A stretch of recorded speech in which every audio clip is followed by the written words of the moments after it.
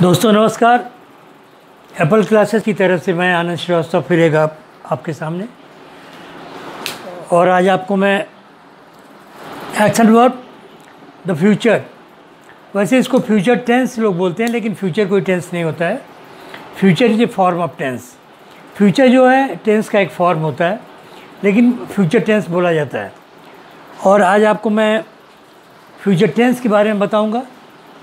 और वो भी फ्यूचर टेंस में आपको मैं बताऊँगा कि हिंदी बोलते समय जब हम गा, गे, गी के साथ कोई सेंटेंस ख़त्म करते हैं, चाहे वो पॉजिटिव हो निगेटिव हो या इंट्रोगेटिव देखिए बार बार मैं बताता हूँ कि इंग्लिश बहुत ही ज़रूरी हो गया है आप सबके लिए और हम सब के लिए।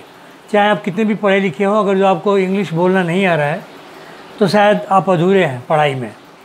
क्योंकि एक ज़रूरत बन गई है, बिना इंग्लिश बोले आप कहीं भी सर्वाइव नहीं कर पाएँगे। और इसी को ध्यान में रखते हुए मैं अपना एक क्लास एप्पल क्लासेस शुरू किया हूँ, ताकि बड़े आसान तरीके से आप जो है, अगर रोज़ जो जो मैं आपको बता रहा हूँ, और सारे टेंसेस को, और जो एग्ज़ाम्पल्स मैं देता हूँ, सारे एग्ज़ाम्पल्स को आप अच्छी तरह से रोज़ बोलें, ध्यान दें और सीखें तो आपके लिए इंग्लिश बोलना बहुत ही आसान हो जाएगा। इससे और कोई आसान तरीका इंग्लिश बुलवाने का नहीं हो सकता है। मैं अपना पूरा एक्सपीरियंस आपके सामने रख रहा हूँ इंग्लिश बुलवाने के लिए।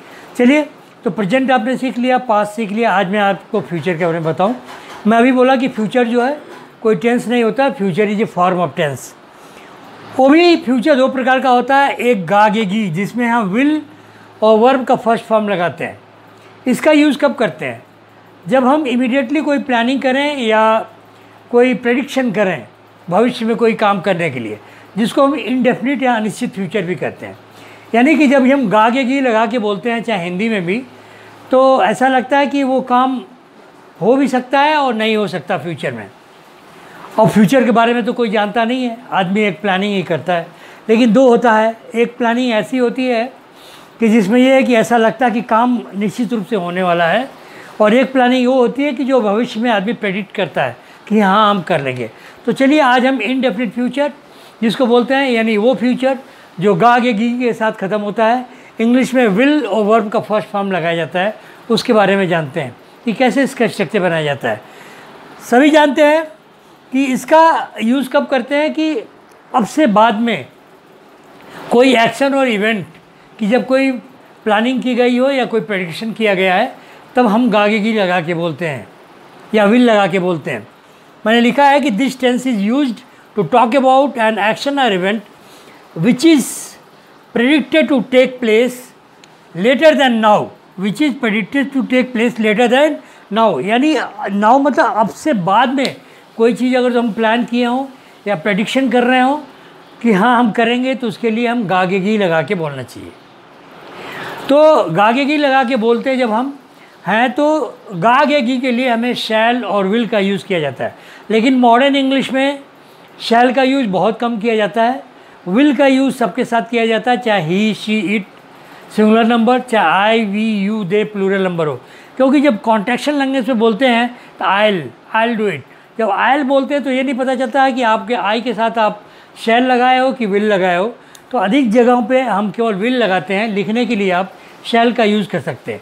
लेकिन चूँकि हम स्पोकन इंग्लिश सीख रहे हैं तो मैं आपसे यही चाहूँगा कि आप भी विल लगा के ही बोलिए। तो जो इसका पॉजिटिव स्ट्रक्चर होता है सब्जेक्ट होगा विल होगा या शैल लगाइए वर्म का फ़र्स्ट फॉर्म और ऑब्जेक्ट एग्ज़ाम्पल के लिए सब्जेक्ट में सपोज़ आई है, जैसे आपको बोलना है कि मैं तुमसे बाद में बात करूँगा। बाद में की इंग्लिश क्या होता है? लेटर गागे की है तो क्या बोलोगे? I will talk to you later तो आपने विल लगाया है विल के बाद जो है टॉक वर्ब का फ़र्स्ट फॉर्म जब भी विल आएगा तो उसके बाद हमेशा आपको वर्ब का फ़र्स्ट फॉर्म ही लगाना पड़ेगा। कोई सेकेंड और थर्ड फॉर्म नहीं रहेगा। दूसरा एग्ज़ाम्पल है कि मेरा भाई तुमको कल ज्वाइन करेगा। तो माई ब्रदर सब्जेक्ट होगा विल आएगा ज्वाइन वर्ब का फ़र्स्ट फॉर्म यू ऑब्जेक्ट हो गया और कल के लिए टुमारो तो क्या हो जाएगा? My brother will join you tomorrow एक और एग्ज़ाम्पल वो तुम्हारे पैसे अब पे करेंगे। प्रडिक्शन है, आपने सोच लिया है प्लानिंग कर लिया है कि वो तुम्हारे पैसे अब पे करेंगे। तो क्या होगा? They will pay your money now they आया, उसके साथ भी मैंने विल लगाया है। बोलने के लिए आपको विल ही लगाना पड़ेगा। आप चाहो तो शैल लगा सकते हो, लेकिन मॉडर्न इंग्लिश में शैल को जनरली ओमिट किया गया यानी ज़्यादा यूज़ नहीं किया जाता है। अब अगर जो आपको बोलना है कि ये पंखा आवाज़ करेगा, बहुत ज़्यादा आवाज़ करेगा तो क्या बोलोगे आप? This fan will make lots of noise तो आपने देखा कि स्ट्रक्चर हमने बनाया पॉजिटिव में वर्ब का विल है विल के बाद वर्ब का फ़र्स्ट फॉर्म उसके बाद ऑब्जेक्ट अब इसी को निगेटिव बनाते हैं। अब निगेटिव में क्या होता है कि विल और नॉट को जब हम एक साथ जोड़ते हैं तो इंग्लिश बोलते समय उसको ओंट बोलते हैं। ओंट लेकिन जल्दी से ओन बोलते हैं। तो आप चाहो तो विल और नॉट को अलग करके बोल सकते हो, नहीं तो ओन भी बोल सकते हैं। अब इस सब का हम निगेटिव बनाते हैं। जैसे आपको बोलना है कि मैं तुमसे बाद में बात नहीं करूँगा। यहाँ था मैं तुमसे बाद में बात करूँगा। निगेटिव में क्या होगा? मैं तुमसे बाद में नहीं बात करूँगा। तो विल के साथ आप नॉट लगाओगे तो आप दो तरीके से बोल सके। आई विल नॉट या आई ओन जो भी आपके मत तो आप बोलो I will not I won't talk to you later negative हो गया। दूसरा है my brother will join you tomorrow इसका निगेटिव क्या होगा माई ब्रदर विल नॉट या my brother won't join you tomorrow तीसरा है they will pay your money now वो तुम्हारे पैसे अभी पेमेंट करेंगे। वो तुम्हारे पैसे अभी पेमेंट नहीं करेंगे। तो थर्ड एग्ज़ाम्पल में आप निगेटिव बनाएँगे तो क्या होगा? They won't pay your money now they won't में या ओन के यहाँ पे दे विल नॉट आप यूज़ कर सकते हो। लेकिन जब बहुत तेज़ी से इंग्लिश बोलते हैं तो इतना समय नहीं रहता दे विल नॉट आप दे ओन करके निकल जाएँगे। फॉरेनर जनरली यूज़ करते हैं। तो फॉरेनर जब बोलेंगे तो ऐसे ही बोलेंगे they won't pay your money now तो विल नॉट को वो ओन बोलेंगे। और लास्ट वाला है this fan will make lots of करेगा। और अगर आप निगेटिव बनाओगे तो क्या होगा कि नहीं करेगा तो क्या होगा? दिस फ़ैन विल नॉट या this fan won't make lots of noise ये था निगेटिव अब इंट्रोगेटिव वो इंट्रोगेटिव जो क्या से शुरू होता है? यानी शुरू में क्या आएगा? बीच में नहीं। तो सबके साथ क्या लगा के पहले हम बनाते हैं? जैसे, क्या तुम मुझसे बाद में बात करोगे? तो क्या होगा? क्या से शुरू है? तो विल पहले आएगा। स्ट्रक्चर क्या होगा? विल सब्जेक्ट वर्ब का फ़र्स्ट फॉर्म ऑब्जेक्ट ध्यान रहिएगा विल के साथ हमेशा वर्ब का फ़र्स्ट फॉर्म ही आता है। तो आप क्या बोलोगे? Will you talk to me later will you talk to me later एक चीज़ और बताऊँ। ये विल के साथ और विल नॉट के साथ क्वेश्चन भी बनाया जाता है और कभी कभी इसका यूज़ जो होता है, एक जेंटल एक फॉर्मर एडवाइस के लिए भी यूज़ किया जाता है। रिक्वेस्ट के लिए यूज़ किया जाता है। एक जेंटल रिक्वेस्ट के लिए पोलाइट रिक्वेस्ट के लिए भी हम कभी कभी इसको इंट्रोगेटिव के रूप में नहीं यूज़ करते हैं, लिखा जाएगा इंट्रोगेटिव लेकिन उसको आप जो है रिक्वेस्ट के ऊपर यूज़ करेंगे यूज़ करेंगे, कैसे करेंगे वो मैं अभी बाद में बताऊँगा। अभी आप ये सीखिए कि इसका इंट्रोगेटिव कैसे बना है जैसे आपको पूछना है कि क्या तुम मुझसे बाद में बात करोगे? तो क्या पहले शुरू हुआ है? तो विल से शुरू करोगे will you talk to me later दूसरा था कि मेरा भाई तुमको कल ज्वाइन करेगा। अब वही क्वेश्चन बनाना है कि क्या मेरा भाई तुमको कल ज्वाइन करेगा? क्या से शुरू है? तो क्या बोलोगे will my brother join you tomorrow will my brother join you tomorrow आप देख रहे हैं ज्वाइन टॉक ये सारे फ़र्स्ट फॉर्म में आ रहे हैं. थर्ड है they will pay your money now अब क्या वो तुम्हारे पैसे अभी पे करेंगे? तो विल से है तो क्या बोलोगे will they pay your money now will they pay your money now pay verb का फ़र्स्ट फॉर्म है। लास्ट है this fan will make lots of noise अब वही क्वेश्चन पूछना है, क्या ये पंखा बहुत आवाज़ करेगा? तो क्या बोलोगे will this fan make lots of noise okay अब इंट्रोगेटिव निगेटिव सब में नहीं लगा करके। सब में नहीं लगा के जैसे, क्या तुम मुझसे कल, क्या तुम मुझसे बाद में बात नहीं करोगे? क्या मेरा भाई तुमको कल ज्वाइन नहीं करेगा? क्या वो तुम्हारे पैसे अभी नहीं देंगे? और क्या यह फ़ैन बहुत ज़्यादा आवाज़ नहीं करेगा? अब क्या के साथ नहीं आ गया? इसलिए क्या हो गया है? इंट्रोगेटिव निगेटिव हो गया। तो इंट्रोगेटिव निगेटिव के लिए जो होता है, दो तरीके से यूज़ करते हैं। पहला स्ट्रक्चर होगा विल सब्जेक्ट नॉट वर्ब का फ़र्स्ट फॉर्म ऑब्जेक्ट और विल नॉट नॉट को जब कॉन्ट्रैक्ट यानी कॉन्ट्रैक्शन लैंग्वेज में बोलोगे तो विल नॉट को हम ओन कर देंगे, तब सब्जेक्ट अलग हो जाएगा। तो क्या हो जाएगा? ओन सब्जेक्ट वर्ब का फ़र्स्ट फॉर्म ऑब्जेक्ट अब इसी को हम दोनों तरीके से आपको बता के, बना के बता रहे हैं। पहला है कि will you talk to me later अब इसको आपको बोलना है, क्या तुम मुझसे बाद में बात नहीं करोगे? तो दो दो तरीके से आप बोल सकते हैं। पहला क्या होगा? Will you not talk to me later और दूसरा क्या होगा? Won't you talk to me later आपने देखा विल यू नॉट विल के बाद सब्जेक्ट और नॉट आया है। और यहाँ पर विल और नॉट एक साथ ओंट हो गया है और सब्जेक्ट बाहर आ गया है। तो क्या बोलोगे? Won't you will you not और won't you talk to me later दूसरा देखिए will my brother join you tomorrow कि क्या मेरा भाई तो आपको कल ज्वाइन नहीं करेगा? निगेटिव होगा? तो आप क्या करोगे? दो तरीके से विल माई ब्रदर नॉट यानी विल माई ब्रदर नॉट यानी, यहाँ देखिए नॉट बाहर आ गया है। अगर वही आपको एक साथ ज्वाइन करना है तो क्या होगा? ओन माई ब्रदर क्या हो जाएगा? ओन माई ब्रदर तो क्या हो जाएगा? Will my brother not join you tomorrow और या नहीं तो क्या होगा? Won't my brother join you tomorrow third will they pay you money now और इसका क्या होगा? क्या वो तुम्हारे पैसे अभी नहीं देंगे? तो क्या होगा? इसको भी दो तरीके से बोल सकते हैं। विल दे नॉट और ओन दे विल सब्जेक्ट और नॉट बीच में सब्जेक्ट आ गया। और यहाँ पे क्या होगा? विल नॉट एक साथ हो जाएगा ओन्ड हो जाएगा तो सब्जेक्ट बाहर आ जाएगा। तो दो तरीके से कैसे बोलेंगे? Will they not pay your money now या won't they pay your money now last will this fan make lots of noise क्या यह पंखा बहुत ज़्यादा आवाज़ नहीं करेगा? तो कैसे कैसे बोलेंगे आप? विल दिस फ़ैन नॉट या ओन दिस फ़ैन समझ में आ गया होगा कि जब ओन आ जाता है सब्जेक्ट अलग चला जाता है। नहीं, जब विल के साथ नॉट अलग अलग करेंगे सब्जेक्ट बीच में रहता है। तो क्या होगा? Will this fan not make lots of noise या won't this fan make lots of noise ये था आपका पॉजिटिव अफर्मेटिव या निगेटिव इंट्रोगेटिव और इंट्रोगेटिव निगेटिव अब आ गया डब्ल्यू एस फॉर्म यानी जब क्वेश्चन में बीच में कब, कहाँ, कैसे, किस लिए, किसके साथ जब आए तो वो डब्ल्यू एच फॉर्म हो जाता है। तो डब्ल्यू एच फॉर्म बनाने के लिए थोड़े से रूल्स अलग हैं, वो मैं बताऊँ। डब्ल्यू एच फॉर्म के साथ पहले आपको डब्ल्यू एच फॉर्म लगाना पड़ेगा।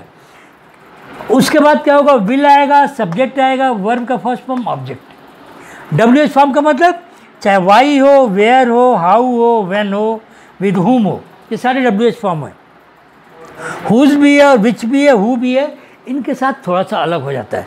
तो चलिए, अब इसके साथ जैसे इंट्रोगेटिव सेंटेंस अगर तो डब्ल्यू एच फॉर्म के साथ बनाना होगा तो पहले ये देखते हैं कि W H form will subject verb का फ़र्स्ट फॉर्म ऑब्जेक्ट अब जैसे बोलना है कि तुम मुझसे बाद में बात क्यों करोगे? देखिए, क्यों भी बाद में आ रहा है। तुम मुझसे बाद में कैसे बात करोगे? तुम मुझसे बाद में कब बात करोगे? तुम मुझसे बाद में किसके साथ बात करोगे? वाई लगाओगे क्यों के लिए तुम मुझसे बात, बाद में क्यों करोगे? वेर वेर मतलब कहाँ? तुम मुझसे बाद में कहाँ बात करोगे?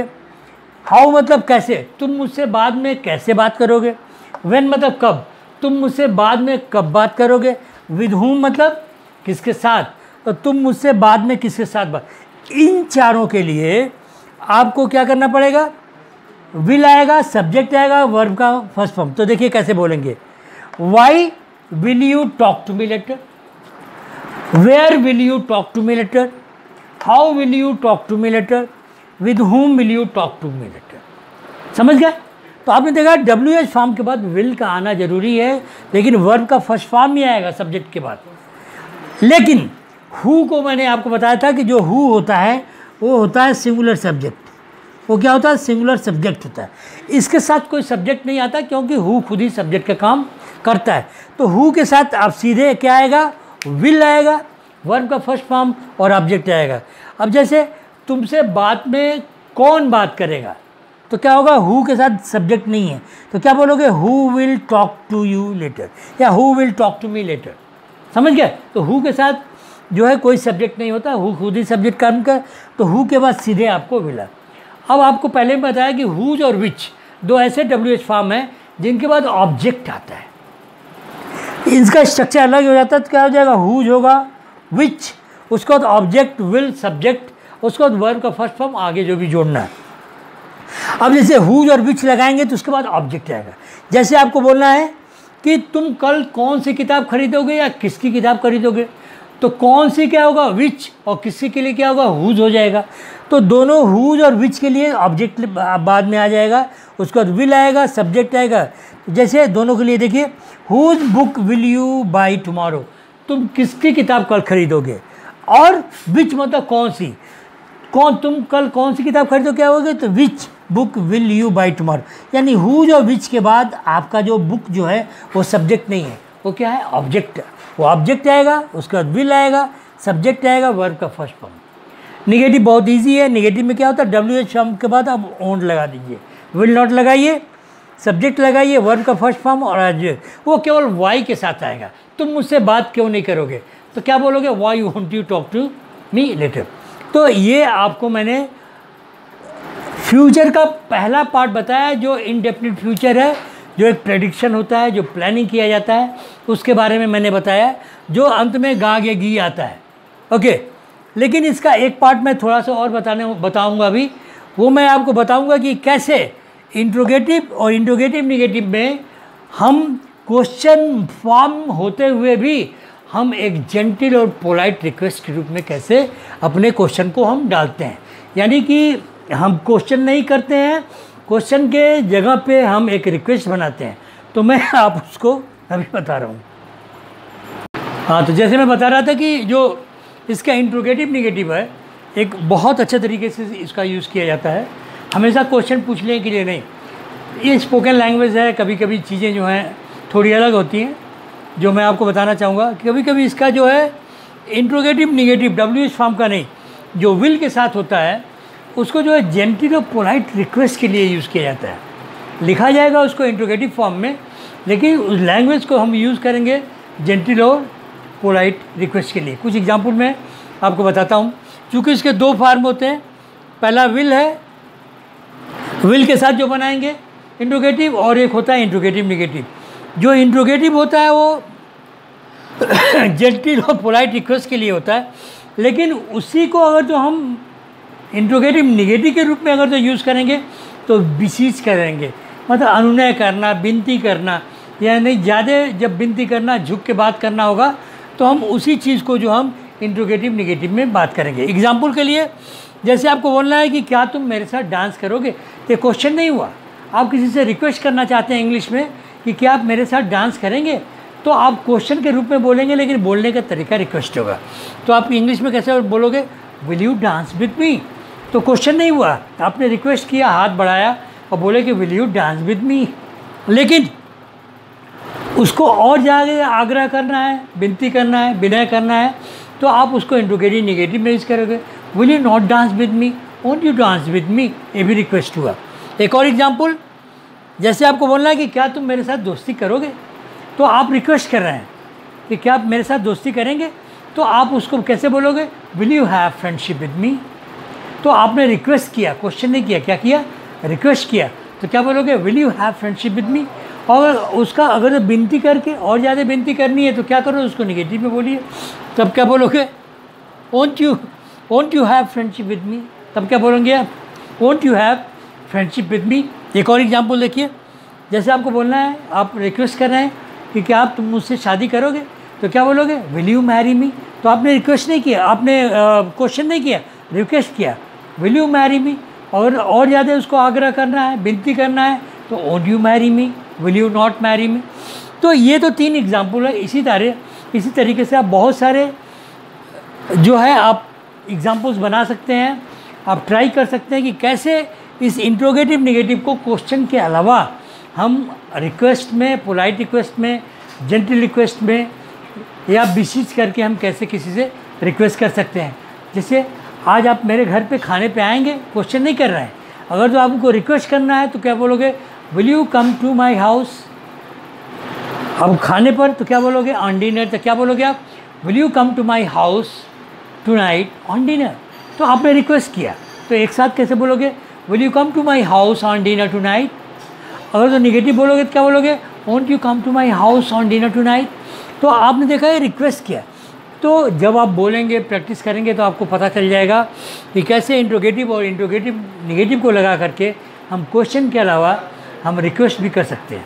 दोस्तों तो आज मैंने आपको बताया कि कैसे गाग या के साथ फ्यूचर टेंस कहने के मैंने बोला था फ्यूचर टेंस फ्यूचर वैसे टेंस नहीं होता future is a form of tense कोई बात नहीं, आप फ्यूचर टेंस समझिए कि किस तरह हमने जो है इसका पॉजिटिव निगेटिव इंट्रोगेटिव और इंट्रोगेटिव हमने सेंटेंसेस बताए। साथ में डब्ल्यू एच फॉर्म के साथ कैसे इसके क्वेश्चन बनाया जाता है, ये मैंने बताया। और साथ में ये भी आपको बताया कि कैसे जो इंड्रोगेटिव और इंडोगेटिव निगेटिव कैसे इसको लगा करके आप जो है रिक्वेस्ट या जेंटल और पोलाइट रिक्वेस्ट या बिसीज कर सकते हैं किसी के साथ। तो ये था आपका फ्यूचर टेंस का पहला पार्ट जिसको हम इंडेफिनिट पार्ट बोलते हैं, जिसमें प्रडिक्शन होता है। इसका सेकेंड पार्ट आपको हम अगले एपिसोड में बताएँगे।